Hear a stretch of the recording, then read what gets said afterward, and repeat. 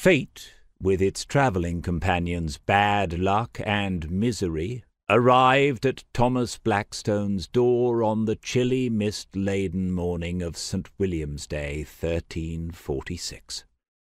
Simon Chandler, reeve of Lord Marlsden Manor and self-appointed messenger, bore his master's freeman no ill will, a warning to the young stonemason of the writ issued for his brother's arrest would stand him in good stead with his lordship, and make the reeve appear less grasping than he was.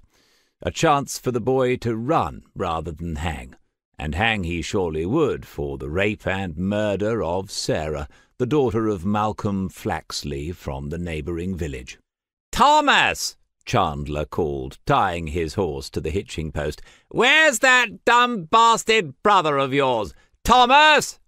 The house was one room deep, twenty odd feet long, its cob walls made of clay and straw mixed with animal dung, the steep pitched roof thatched with local reed, now aged and smothered in moss.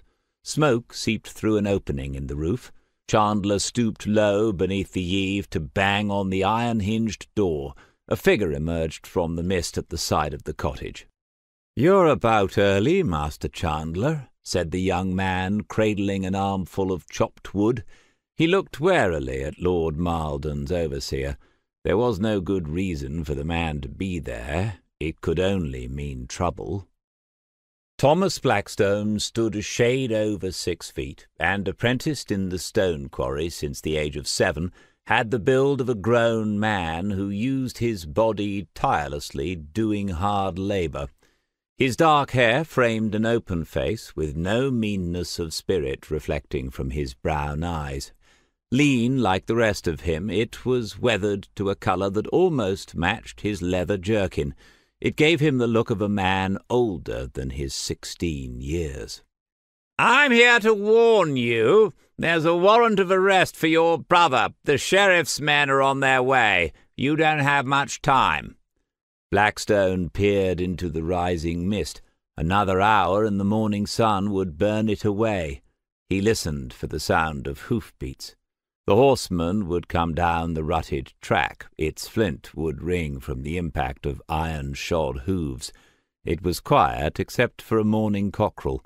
The cottage lay beyond the edge of the village. If he had the desire to run, he could have his brother into the forest and over the hills without being seen. What charge? Rape and murder of Sarah Flaxley. Blackstone felt his stomach lurch. His face betrayed nothing. He's done nothing wrong. There's no need for us to run. Thank you for your warning, said Blackstone, laying down the cut firewood next to the front door. Christ, Thomas, I know his lordship would not want any harm to befall your brother. You're his keeper, and his lordship has always looked kindly on you both since your father's death. But you will be held equally responsible. You will hang with him.